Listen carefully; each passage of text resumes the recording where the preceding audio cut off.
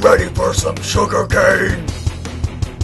Sugar cane, sugar cane, sugar cane.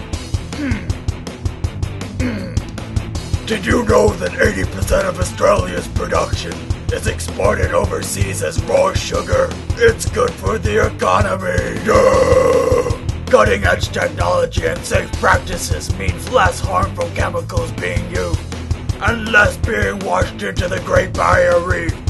GPS signals from satellites help guide machinery down precise tracks in order to reduce exhaust and maximize efficiency.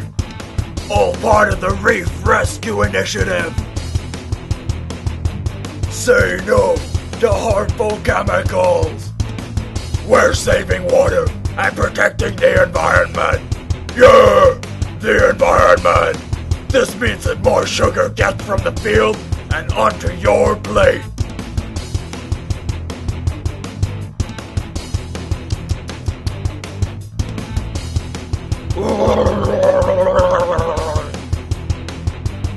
Uniting Queensland's rural communities. Support your local farmers. They're a bunch of sweeties.